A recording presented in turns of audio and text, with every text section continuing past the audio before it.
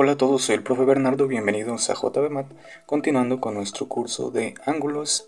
En este video nos vamos a ver el segundo ejemplo de ángulos perigonales. Vamos a ver un, poquito, un ejemplo un poquito diferente y vamos a ver cómo calcular la medida de cada uno de estos ángulos usando los ángulos perigonales. ¿ok? Entonces, para comenzar, recordando, dos o más ángulos son perigonales si sumados nos dan 360 grados. Aquí tenemos una pequeña figurita, en este caso tenemos dos ángulos y la suma de esos dos ángulos nos da 360 grados, es decir, una vuelta completa. ¿ok? Entonces usando esa propiedad de estos ángulos vamos a resolver nuestro ejemplo.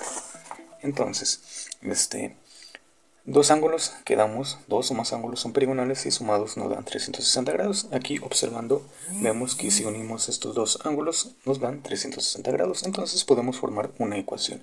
Y la ecuación sería 360 grados va a ser igual a la suma de estos dos ángulos que es 12x más 10 más el segundo ángulo que es x más 25 grados.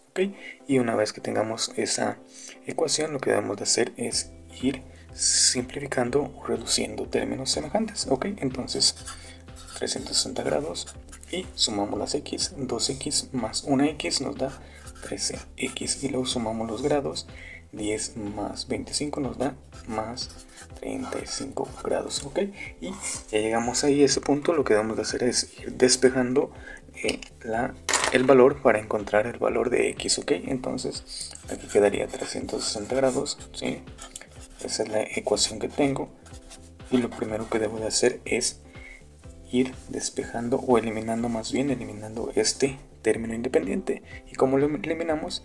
Restando esa misma cantidad a ambos lados de nuestra igualdad para no afectar nuestra igualdad. ¿ok? Entonces, eh, del lado izquierdo tenemos 360 menos 35 y eso nos da 325 grados. Y del lado derecho nos queda 13x y 35 menos 35 se elimina o se anula nos da 0, ¿ok? Y ya llegamos a este punto, siempre que tengamos un numerito multiplicando la x, lo que debemos de hacer ya para despejar la x es hacer la operación inversa, siempre dividir entre el numerito que tengamos aquí, entre 13 a ambos lados, ¿sí?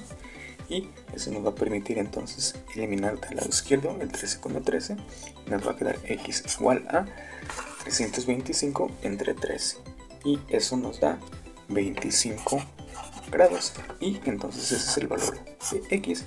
Ahora lo que tengo que hacer es sustituir ese valor de x en nuestro ángulo entre nuestros dos ángulos para encontrar el valor de cada uno de esos ángulos ok entonces comenzando aquí tengo 12x entonces va a ser 12 por el valor de x que es 25 grados más 10 grados. Y cuánto nos da entonces nos da este 12 más 12 por 25 nos da 300 más 10 nos da 310 entonces es lo que mide el primer ángulo.